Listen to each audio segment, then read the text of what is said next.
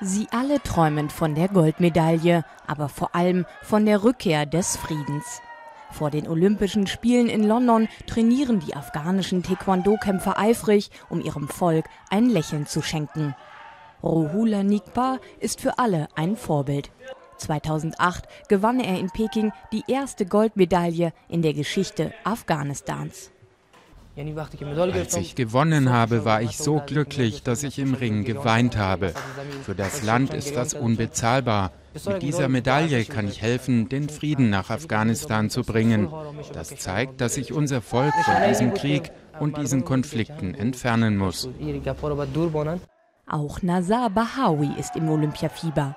Bei den Weltmeisterschaften 2007 in Peking gewann er die Silbermedaille, scheiterte aber bei den letzten Olympischen Spielen. Dieses Mal will er es auf das Podium schaffen.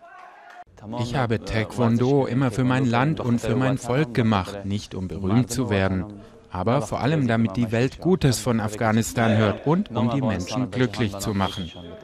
Durch den Erfolg der beiden jungen Männer wurde Taekwondo zu einer der beliebtesten Sportarten des Landes. Mittlerweile gibt es rund 25.000 begeisterte Kämpfer, die in 100 Clubs trainieren. Um die afghanischen Trainer zu unterstützen, wurde sogar ein koreanischer Meister eingestellt. Wir bilden für die Olympischen Spiele exzellente Kämpfer aus. Das Logo mit den fünf Ringen symbolisiert, dass die Welt vereint ist. Taekwondo kann der Welt zeigen, dass wir nicht Krieg, sondern Frieden verlangen. Wir wollen mit der restlichen Welt in Einklang leben.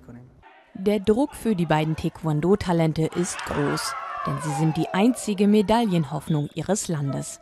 Wenn die NATO Ende 2014 ihre Truppen aus Afghanistan abzieht, steht das Land vor einer ungewissen Zukunft. Dann werden dringend neue Helden benötigt.